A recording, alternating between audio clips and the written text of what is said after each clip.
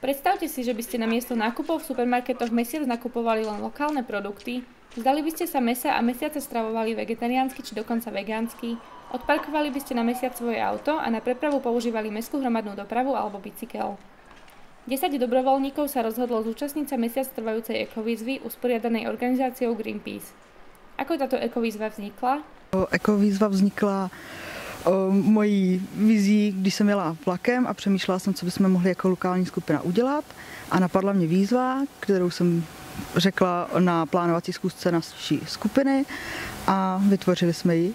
A znamená to to, že všichni, kdo chtějí něčím začít, tak můžou začít prostřednictvím ekovýzvy a informovat lidi o tom, že ve skutečnosti je to docela snadné.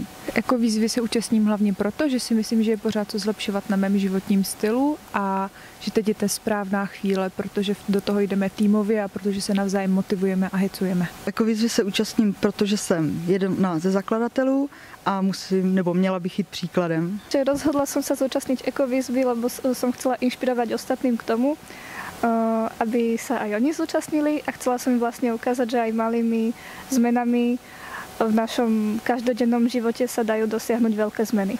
Protože nechci podporovat kácení pralesů kvůli palmovému oleji.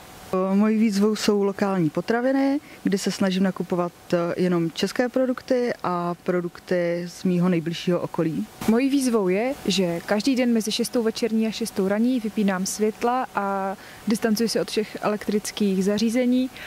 Platí to jenom pro domácnost, takže abych byla víc venku a hlavně abych si uvědomila, nakolik jsem na elektřině závislá. Hrozně moc mi třeba chybí počítač. Musela jsem se zdát výrobku s palmovým olejem. V rámci ekovýzvy som prestala jesť meso a všetky živočišné produkty, vrátane vajíčok, mlieka a podobně. A musela jsem se vzdát hlavně mídla a jaru, kde se nachází taky palmový olej. Vlastně to mídlo jsem si musela nakonec vyrobit sama z glycerinu. Zatím je to pro mě obohacující, ale zároveň frustrující, protože vlastně všechny začátky jsou trochu bolestivé, ale věřím, že se to bude zlepšovat. No je to docela pro mě těžký, protože musím číst každý, složení každého výrobku No a je to jinak jakože docela v pohodě. Prvé dny ekovýzvy zatiaľ zvládam bez problémov. Mala som jeden krízový deň, keď som dostala strašnú chuť na čokoládu a v obchode som si potom nakonec koupila jahodový kompot. Řekla bych, že zvládám docela dobře a nejvíc mě trápí akorát to pití. Vy môžete príbehy všetkých zúčastnených sledovať na blogu Ekovýzvy a sociálnych sieťach, alebo sa k ním rovno pridať a urobiť tak tiež niečo pre životné prostredie. Pre Muni TV a TV Stisk Laura Zvončeková a Laura Kováčová.